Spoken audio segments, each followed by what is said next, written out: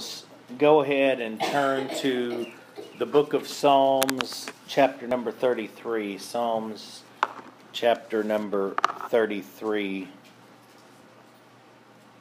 We'll begin reading at verse number 8. Let all the earth fear the Lord. Let all the inhabitants of the world stand in awe of him. For he spoke, and it was done. He commanded, and it stood fast. The Lord brings the counsel of nations to nothing.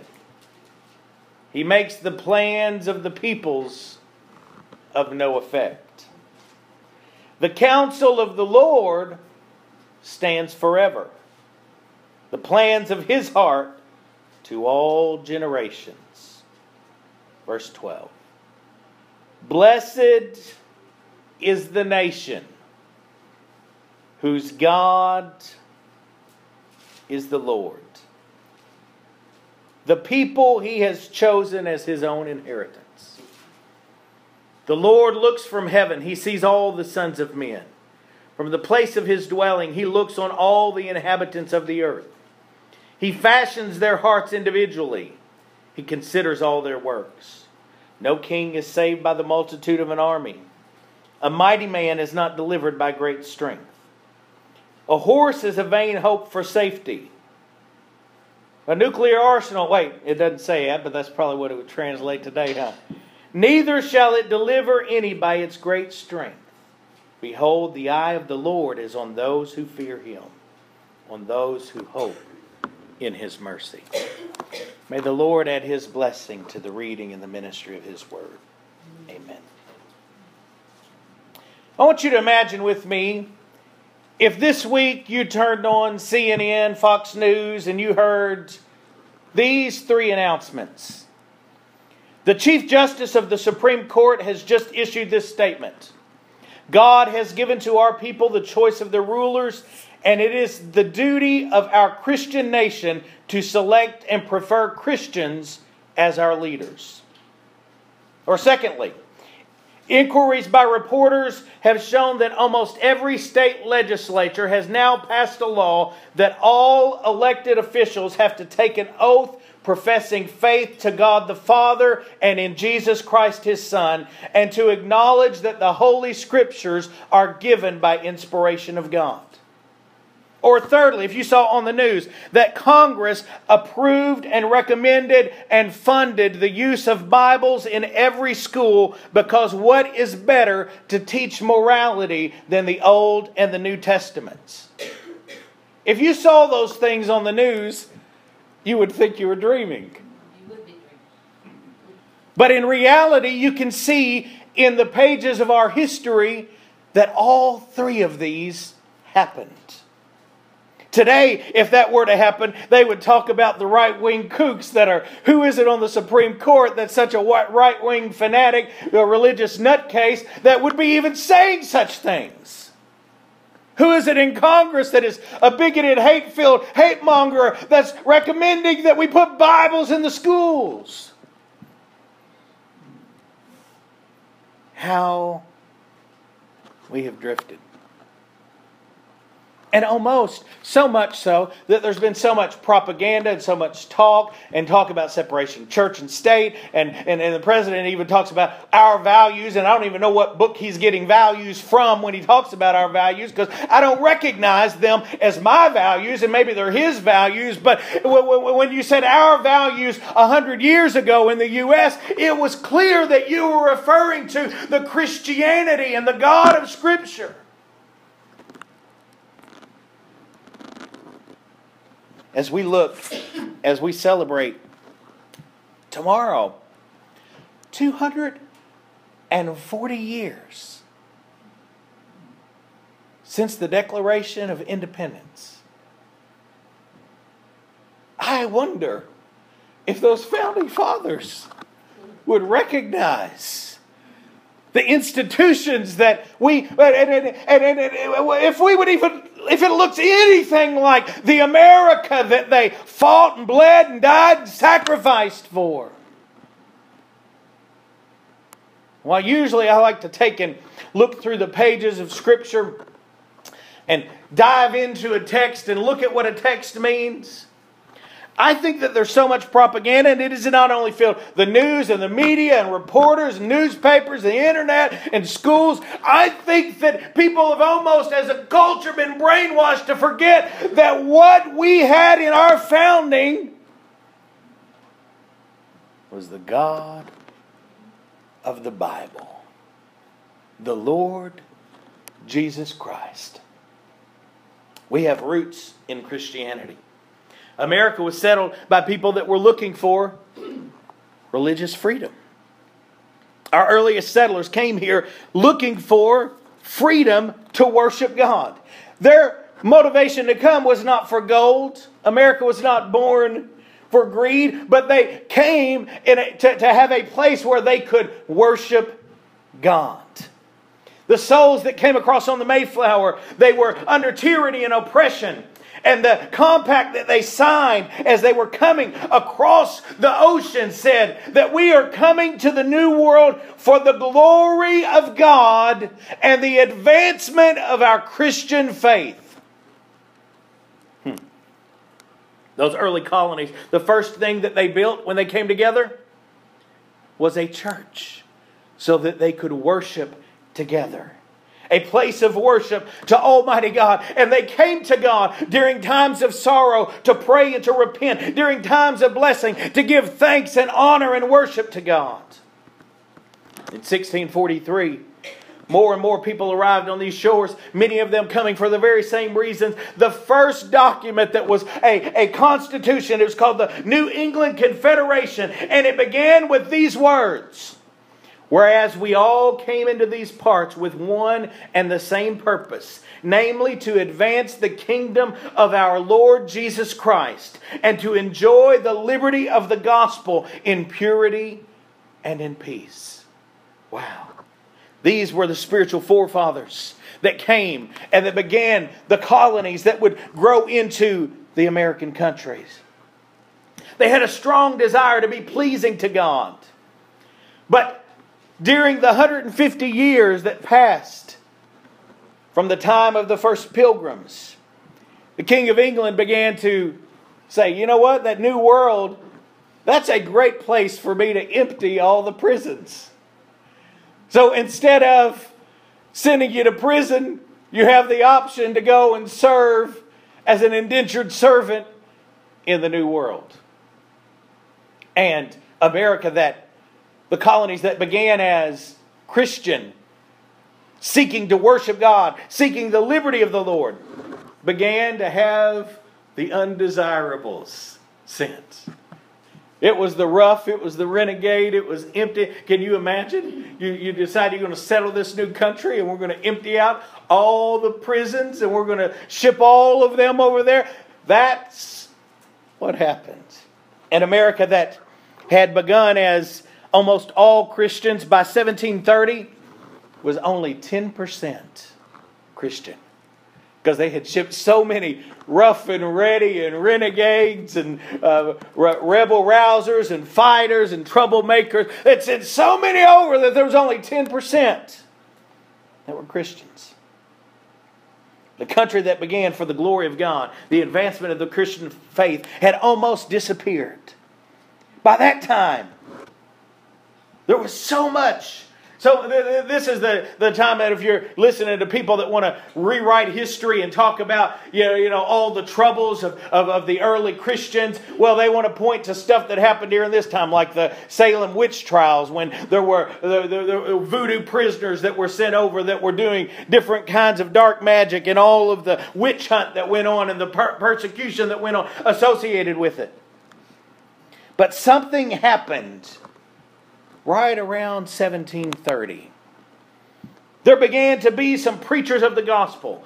Jonathan Edwards, you may have heard of one of his great messages, Sinners in the Hands of an Angry God. He's the founder of Princeton University, probably one of the brightest men that have ever lived in this country. He preached the gospel and preached about the wrath of God until it said that people stood with their hand gripping the pew in front of them until their knuckles turned white for fear of the pending judgment of God. He preached that man. You can still read that message. The, the, the history tells us that he wasn't that great of a speaker. He didn't have real good vision. He had to hold his manuscript right up to his face and he read it in monotone. But somehow the truth and the power of the Word of God that he and others like him, Jonathan Edwards and George Whitefield and John Wesley, they began to preach. They began to preach in church houses and the churches wouldn't hold them. And then they began to preach in streets and in fields. And soon there were meetings that were happening all over this country that had once been Christian but had fallen to 10%. And within 10 years, the country went from 10% devout Christians to over 50% that were devout servants of God. And this movement is now called the Great Awakening because God sent a revival and a stirring. I see somehow that God finds a way when it is the worst of times, when it is a clash of the coldest, deadest, darkest of night, that it is then that God sends a stirring of His Spirit. And I just wonder, with all of the hell that is breaking loose around the world and even in our own country, if we don't stand but on the brink of the great awakening happening again, that God is about to maybe turn the tide, and what is a backslidden nation is about to get struck with the spiritual power of heaven so that the church house can't contain them, and you got to have meetings out in fields and out under tents and out in the middle of nowhere because the Spirit of God is moving again. The Great Awakening. It was of the great during that time of the Great Awakening. Benjamin Franklin wrote, "It was wonderful to see the change that was made in the manners of the people, from thoughtless or indifferent about religion. It was as if all the world were growing religious, so that no one could walk through the town in an evening without hearing psalms sung in different families on every street. It happened. Over 50% of the population were devout Christians. And it was this great awakening that led to the American Revolution. The Great Awakening was the precursor to the Revolution. Our founding fathers that signed the Declaration of Independence, the Constitution, the Bill of Rights, those who put their lives on the line, who fought and died that we might be free, all these grew up in the time of revival of the Great Awakening. The leaders of the American Revolution were touched by the Great Awakening. Listen to this. The President of the United States wrote this in his diary Let my heart, gracious God, be so affected by your glory and majesty that I may discharge those weighty duties that you require of me. Again, I have called on you for pardon and forgiveness of sins, for the sacrifice of Jesus Christ on the cross for me. You gave your Son to die for me and you have given me assurance of salvation. Those were the words penned by the first American president when he took office. Can you imagine today a candidate even saying something like that publicly? Would be derided and ridiculed. There was a study from the University of Houston. They went and they looked through all of the all of the folks that framed the Constitution, that signed the Declaration of Independence, and looked for every writing, every public statement of, of them because they wanted to see uh, what, what was it that influenced these founding fathers in the way they thought as they created this new world and new government. They found over 15,000 writings. 15,000 from the founding fathers. Listen to this 94% of those 15,000 documents from our founding fathers were quotes from the King James Bible. 94% of what they said was from the Bible.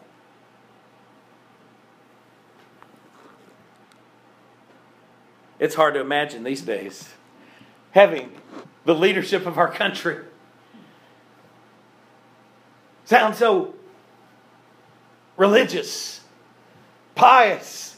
It would be ridiculed.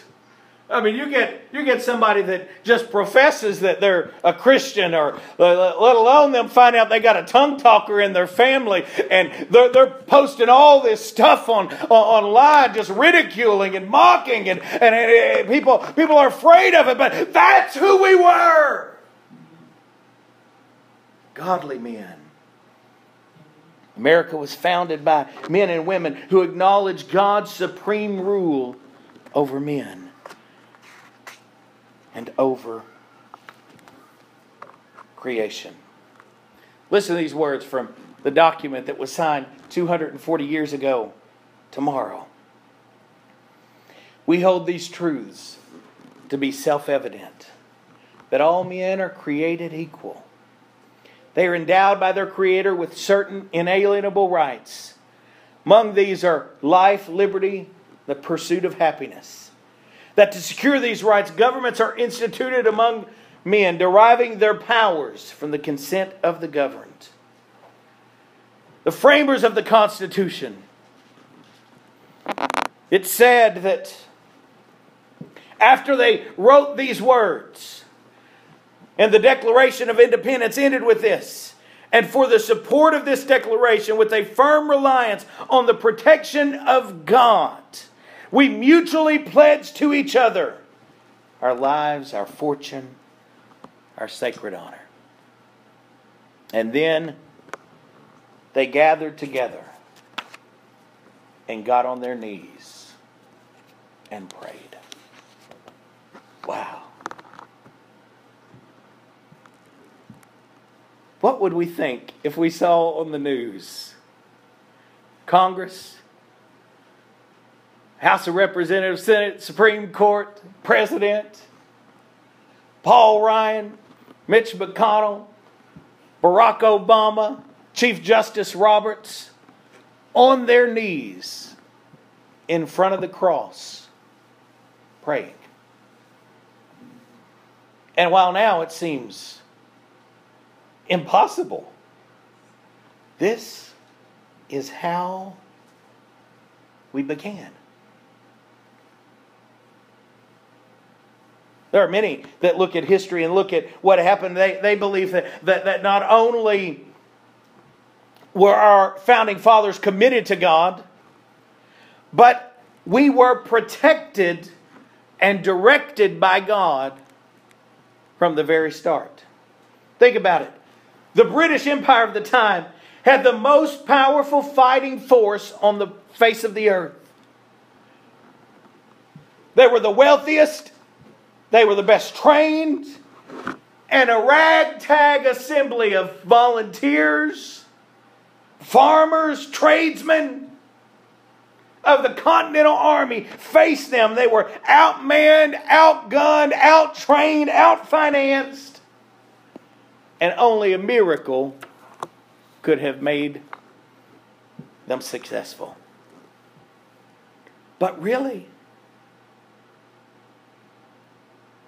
if you look at what happened, there's examples of those miracles. 25 days after the Declaration of Independence was signed, Washington had an army of 8,000, and he found himself trapped at the water's edge of the East River near Brooklyn, New York.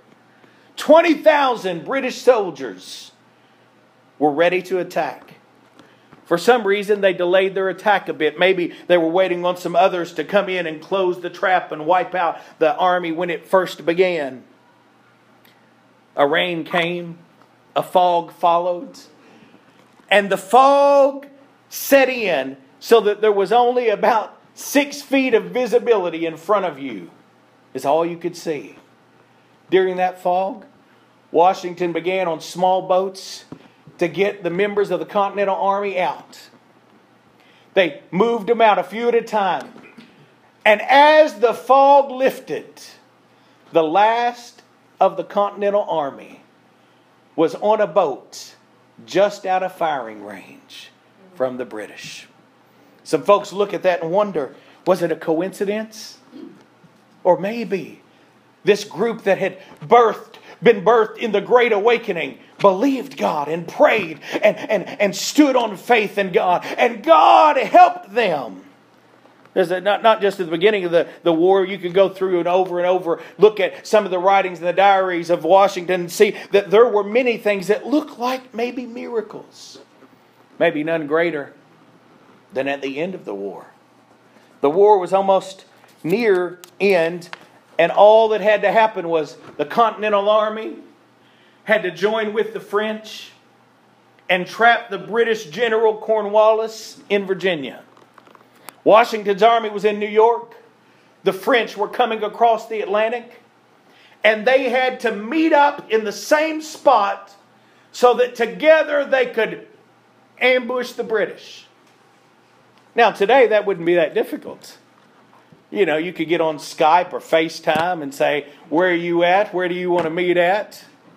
You could use a GPS. Don't do it on Beehive, but, you know, there could have been different places they might have been able to, to get together. But without telegram, telephone, anything, they happened to meet up at the same spot and coordinated the last great attack that wiped out the British. There were miracles. Not just that, uh, our, our, our, our leaders saw a sense of honoring God and even the way our government is formed, they look to Scripture for guidance. Isaiah 33 says, God is our judge, our lawgiver, and our king. And they use that to form the judicial branch, the legislative branch, the executive branch of government. They, when they built the Washington Monument, it is by law the tallest building allowed to be in Washington, D.C. And at the very top of that monument, the words are inscribed Let God be praised. Wow. How unusual for the way things are today. In 1892, the Supreme, the Supreme Court said this our laws and our institutions must necessarily be based on and include the teachings of the Redeemer of mankind. It is impossible for it to be otherwise. To this extent, our civilization and our institutions are emphatically Christian.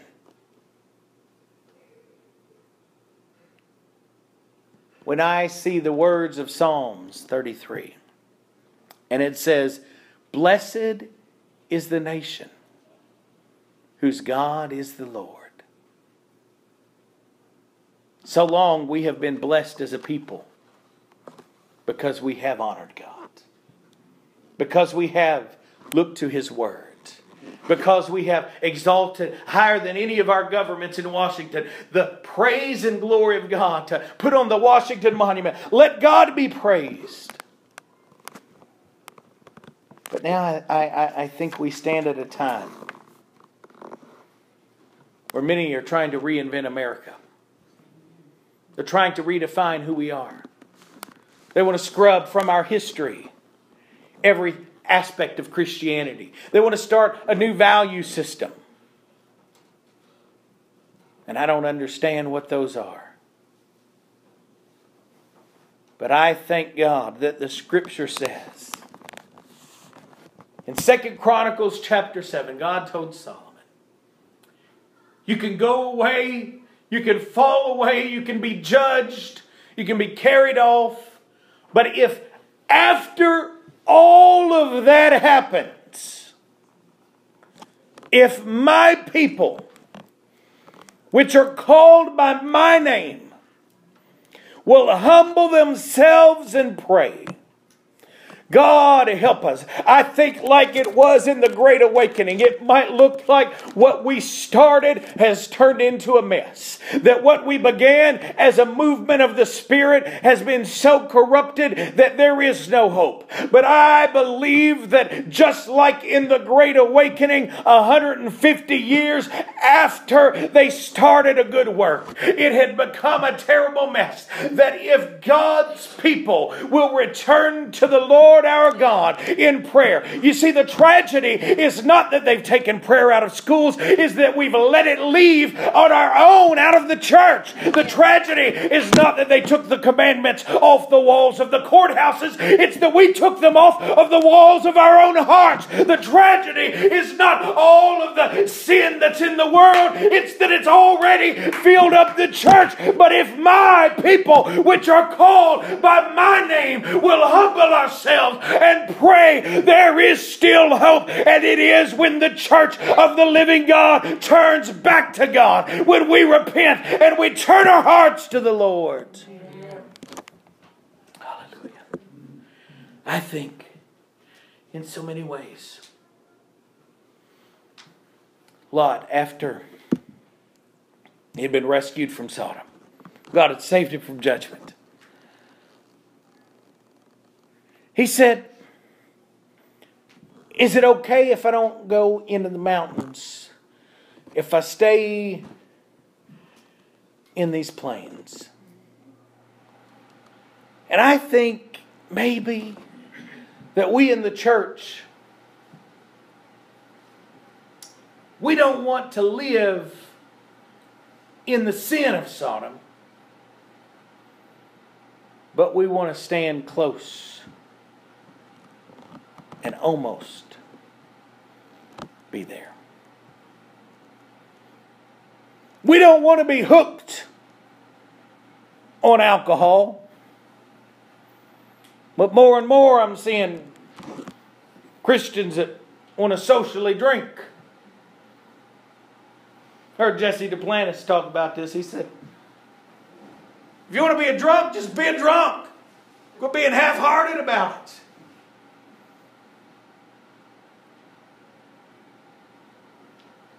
We don't want to live in adultery, but we'll look at inappropriate things on the phone or on the internet. We don't want to be entangled, but we want to live about as close to it as we can.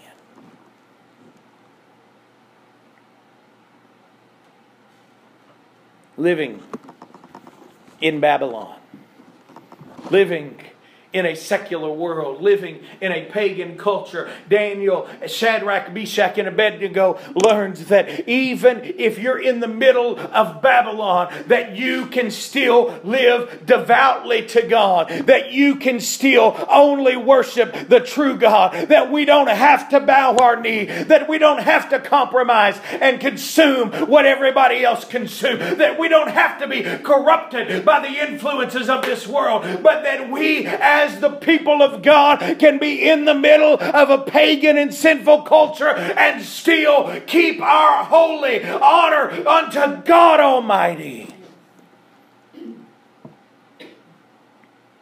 You know, in these revivals, they preached with great power and great conviction about holiness, about living clean.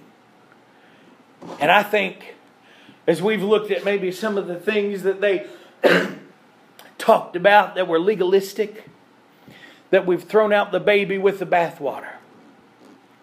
That we've been so afraid of becoming legalistic because of the, you know, trying, trying to legislate how long this has got to be or, or, how you got to do, exactly do this or that. And we, we've strayed so far from legalism that we have forgot that there is power in a holiness. There is power in commitment. There is power in devotion. There is power in sacrifice and having a life before God that says, God, I want to live fully devoted to you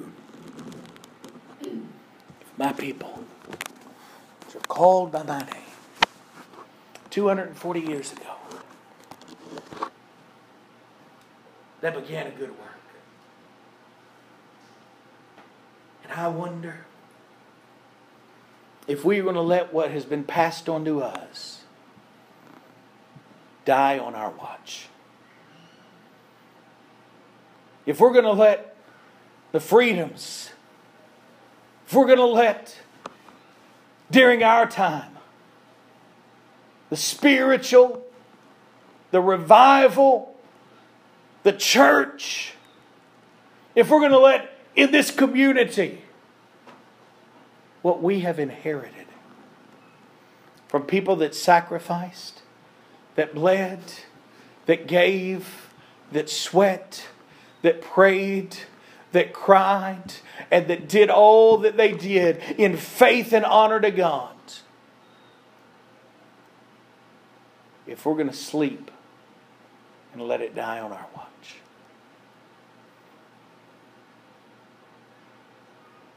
Evil can only prevail when good men do nothing. The enemy can only prevail if we sit aside and think, there's nothing I can do. What could happen if we, as the church, really repented and sought God? We wouldn't have to fight gay marriage in the courts. We'd get the homosexuals saved and delivered, and we wouldn't have to worry about it. We'd have to fight abortion in the courts. We'd get people saved and filled with the Holy Ghost and touched by God and their life redeemed. We wouldn't have to worry about it. If we would allow the power of God to flow through us, then what God did before, He'll do again. And so as we celebrate and remember and let off fireworks, somebody said somebody what blew up on one in their hand and blew their hands off. Man, we know how to celebrate, don't we? Because we celebrate. We eat our potato salad and watermelon. Throw some food on the grill. My Kenyan friend, he was with me on Memorial Day, first time that he spent a long period in the U.S. He was with me on Memorial Day, and he actually stayed through the 4th of July. And On Memorial Day, we cooked out, and we had potato salad and watermelon, and we had all this food. And then 4th of July, we pretty much did the exact same thing. You said, Do y'all celebrate everything the same way by eating? And yeah, pretty much. You mark the holiday by what kind of food do you eat? Well, we have ham on this one, and we got turkey on this one, and we barbecue on this one. Different kind of food. I want to challenge you to do two things. With your family, with your friends. Go find on the internet, print out a copy of the Declaration of Independence. And read it and see if you can't see that there was a faith a belief in God, a conviction that moved our founding fathers. They weren't perfect, but moved them to begin a good work. And then I want us to all find a time to pray and repent to God that we've allowed the sins of this world to choke us out, to stifle the life that God began. Because I believe that if we will really repent and turn to God, it's not too late. We can see this thing turned around. We can see another great awakening. we can see a great revival.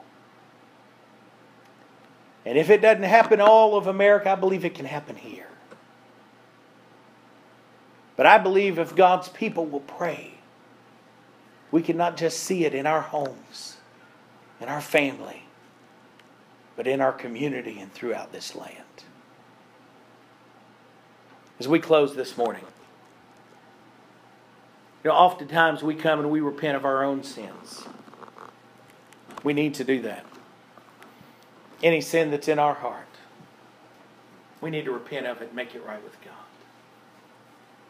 But as we come to our time of prayer this morning, I want to ask us not to just repent of our own sins, but let's repent on behalf of this church.